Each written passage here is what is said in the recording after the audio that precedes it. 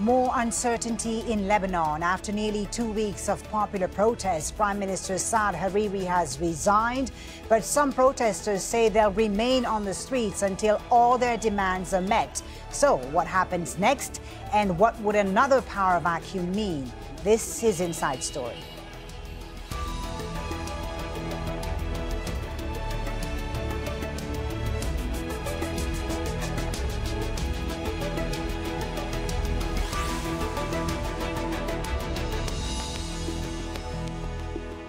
Hello and welcome to the program. I'm Folly Bah Thibault. It was one of the main demands of Lebanon's protest movement, the resignation of the prime minister and his cabinet.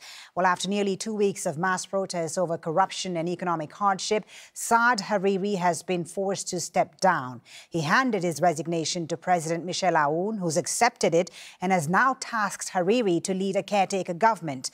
But many protesters say this is not enough and are demanding the president also resign and parliamentary elections be held. There is concern that this could lead to a power vacuum in Lebanon.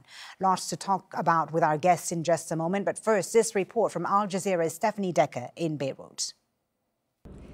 It is day 14, two weeks, and a significant win for the protesters in the form of the resignation of Prime Minister Saad Hariri and, in effect, the government. Uh, but many questions remain and challenges remain. We are now at a political crisis. Yes, there has been some easing of the situation on the ground when it comes to the opening of the main roads. This is something that's been putting a lot of pressure on the government, a lot of pressure also on the people wanting to move around the capital and this country. Those roads that protesters have closed have been reopened. We're also hearing that schools and banks are due uh, to reopen, but there are big question marks when it comes to the political situation uh, of this country. Uh, what is the transitional government going to look like? The protesters want a government, a cabinet made up of technocrats, of people not affiliated to any of the political parties. But the people now in consultations with the president are going to be people affiliated, heads of these parties that the protesters are against. A, are they going to be able to agree on anything? We know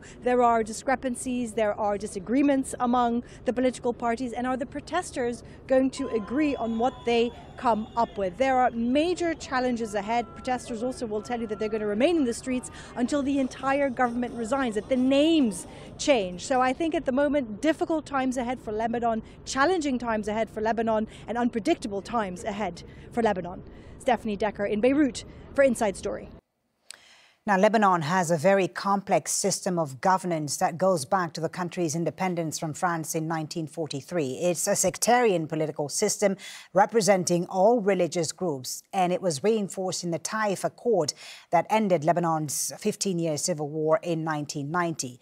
The top positions are held by the three largest sects. The president is always a Maronite Christian, the prime minister a Sunni Muslim, and the speaker of parliament a Shia Muslim. The number of seats in parliament is equally split between Christians and Muslims and proportionally divided among the country's 18 sects. The Iranian backed Shia group Hezbollah and its allies hold the majority of seats in the current parliament, and the group also has considerable military power. The coalition government that resigned on Monday took nine months to form following a deadlock over ministerial positions.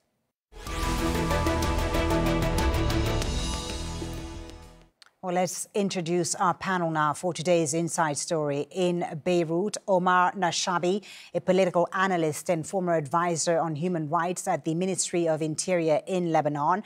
In London, Bilal Malaeb, a researcher at the Institute of Global Affairs at the London School of Economics, and also in the Lebanese capital, Beirut, Naim Salem, professor of international affairs and diplomacy at Notre Dame University. Gentlemen, welcome to Inside Story. Thank you for being with us. Naim Salem in Beirut, let me start with you. Saad Hariri now tasked with leading a caretaker government with limited powers. Does this ease the crisis a little bit, or does it complicate things further? Well, on the face of it, it has eased the, the, the tension. It has uh, led to the majority, absolute majority of demonstrators to get, to get off the streets all over Lebanon. Uh, uh, most of the roads have been opened over the past uh, uh, few hours since early, early morning. And this has allowed the movement, the transportation and uh, uh businesses to uh, reopen uh, their doors as of today. And tomorrow, all institutions in the country and all businesses will be open once again after two weeks of total shut off, total close down. So now the president is now to conduct consultation with parliament members, which are constitutionally required, to see whom do they want or whom do they prefer uh, uh to be the next uh, prime uh, uh minister. And based on those consultations, which are likely to be scheduled uh, tomorrow by the presidential palace, the decision to put a someone to form the new cabinet mm-hmm. will be de decided or declared by the president. Uh, okay. The next few days, uh, will uh, uh, uh, clarify this whole issue on who will be the next prime minister.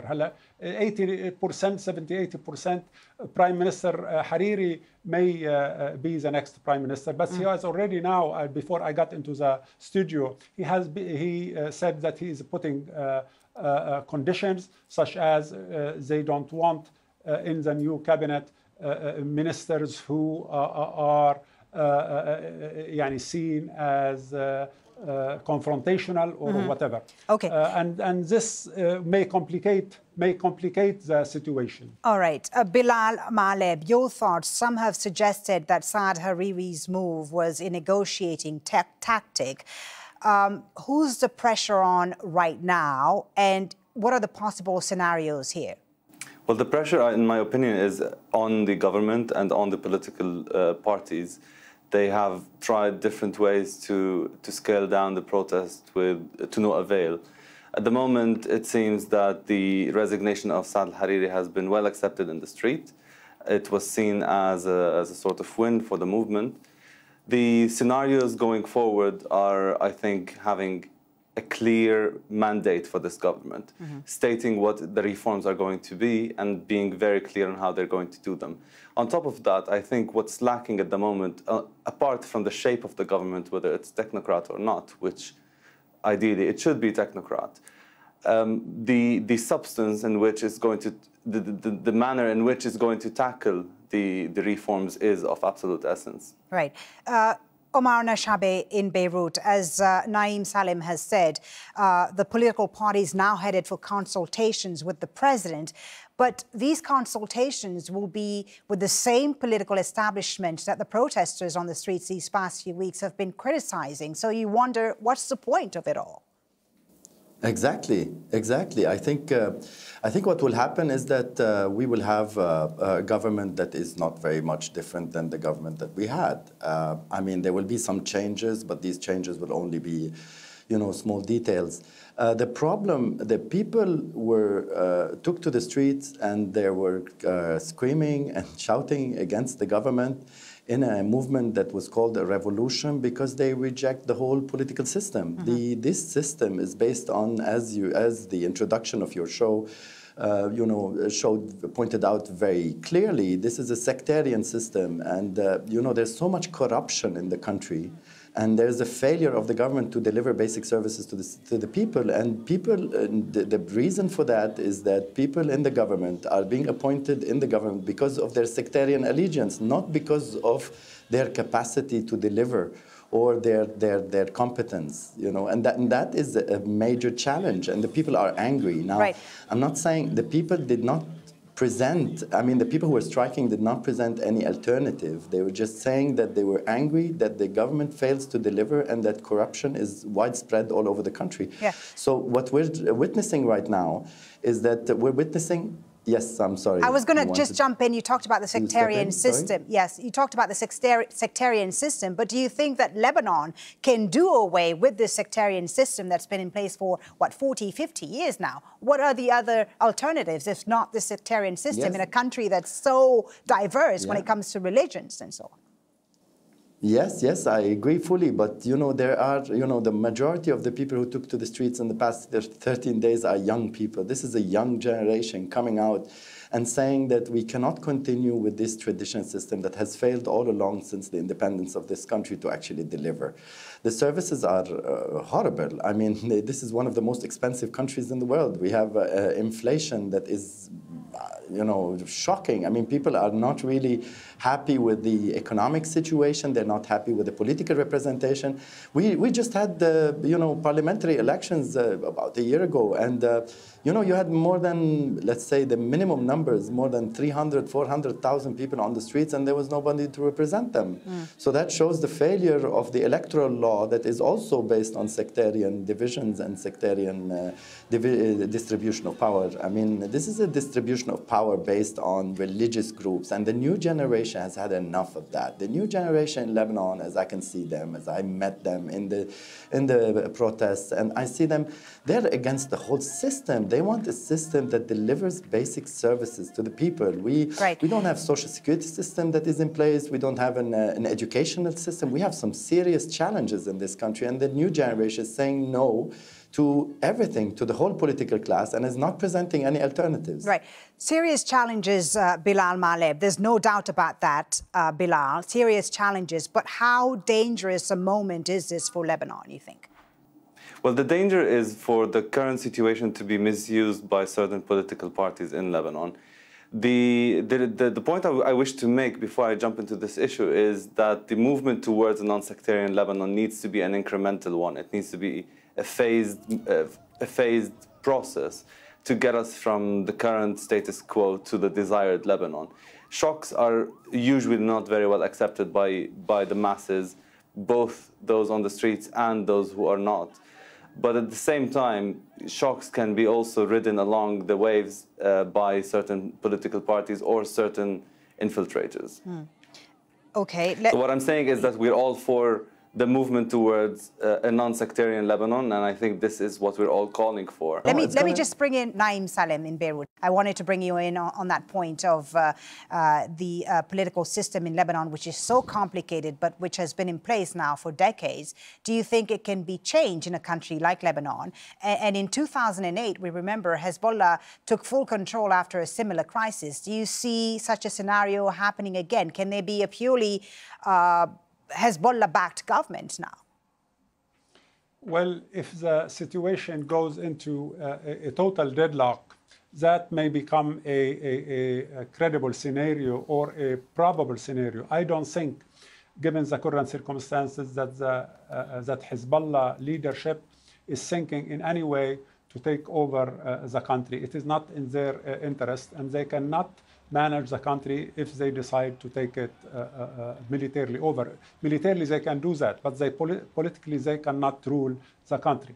So this is not uh, uh, uh, an issue that is probable to, to, happen. Mm -hmm. the, regarding the system, the system has been sectarian for a long time, and it is difficult to change it overnight.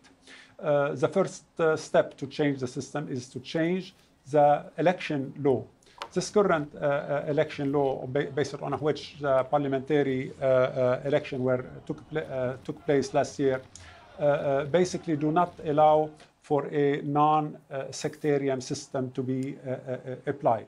So the, as of now, there is no possibility that the law will be changed. So in the next uh, uh, period, after a new government is established, and depending on who will be will be in charge of the new government, uh, 70, 80 percent is going to, as I said, to Mr. Uh, uh, Saad Hariri.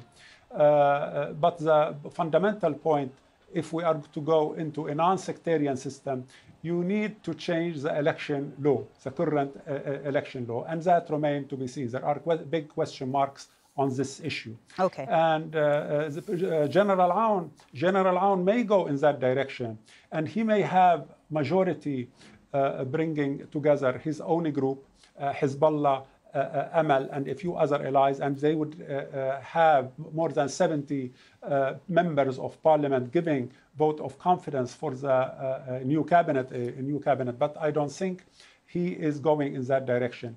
If okay. he is to form a new government from the March, the old March 14, March 8 coalition in Lebanon, that will incur on Lebanon foreign uh, sanctions, particularly American sanctions. Indeed, because Hezbollah is under U.S. sanctions. Emirati sanctions. Okay, Naim Salem, uh, both Omar and Bilal yes, say. Um, can I? Yes, just let me just bring Naim back into the conversation. Naim, both Omar and Bilal say you can't change the system overnight, the political system in Lebanon overnight. So how do you achieve the radical changes that the protesters are demanding?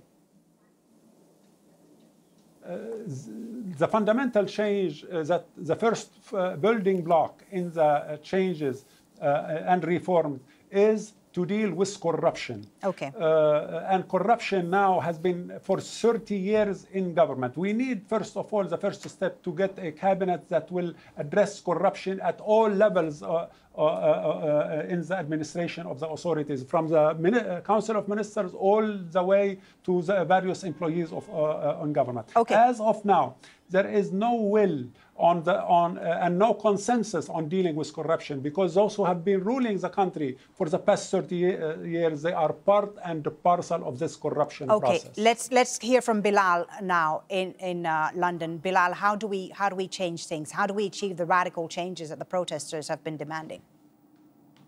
Well, I would like to actually flip that uh, and say that we are on the verge of economic collapse. And the central question now is less on the on the on the on the structure of things, but more on what the reforms that the new government will, is going to deliver and what kind of mandate will this government have.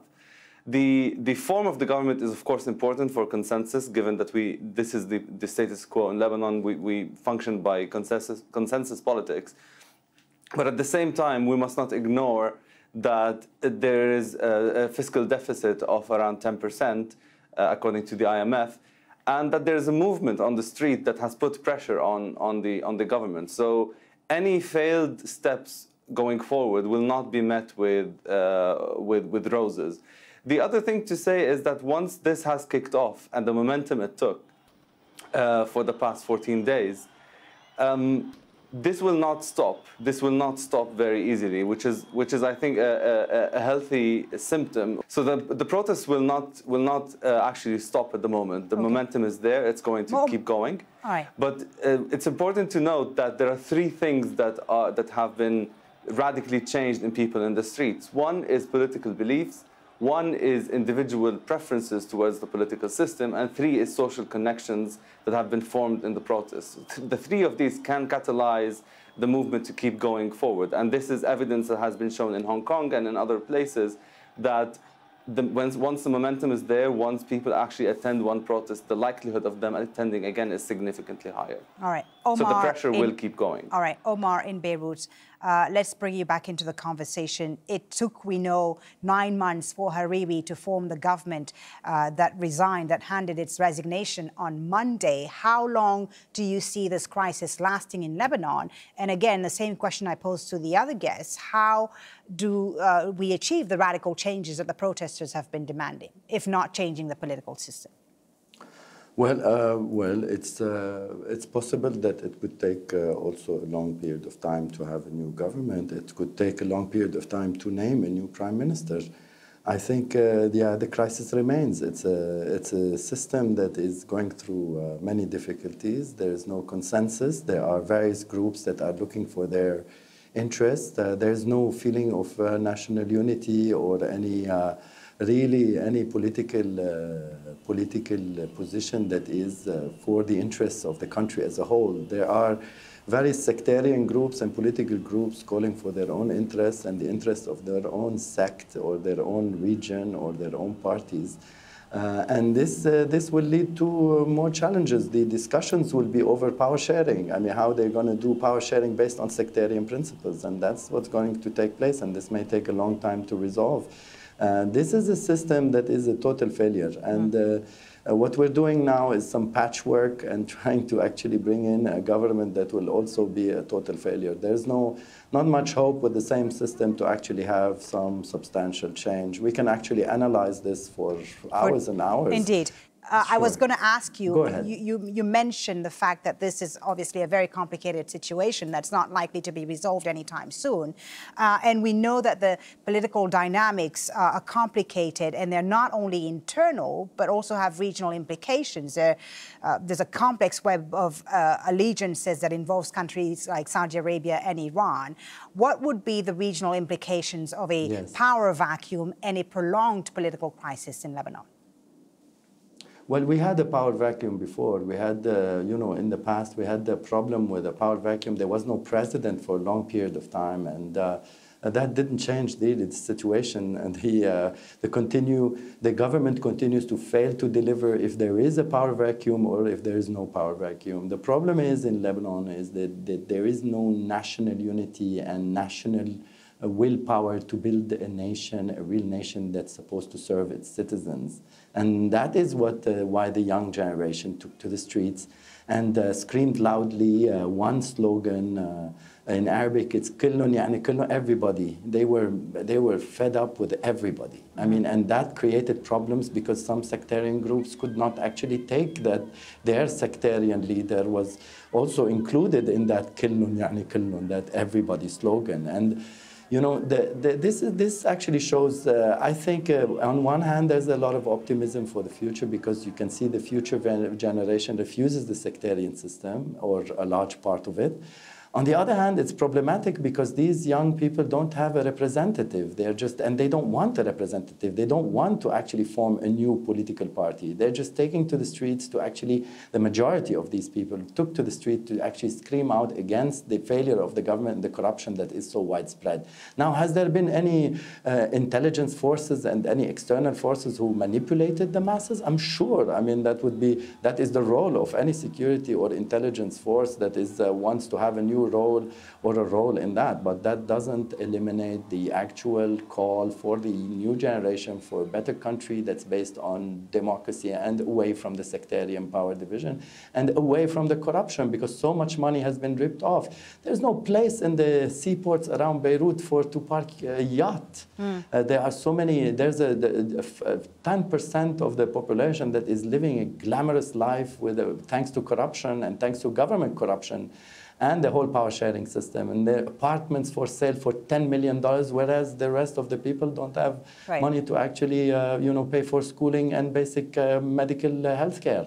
It, you know, and that's a very serious problem. And I think that is where I would like to focus on that issue. I'm, I'm in for all the actual political analysis, yet right. I think the, the time now is to talk about these basic principles, basic issues that are the basic services of the government that are not being delivered. Naim Salem, let me give you the last word because we're almost at the end of our show.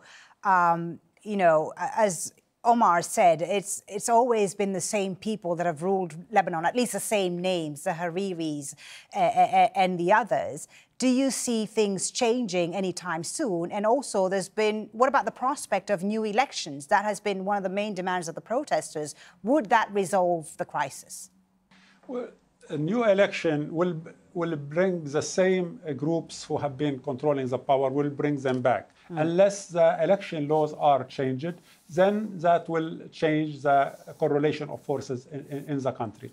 And if those same groups who have been in the successive government in recent uh, years and recent decades, if they are to remain in power, there will be no reforms implemented in the country because those groups are the ones who have robbed the country of its resources.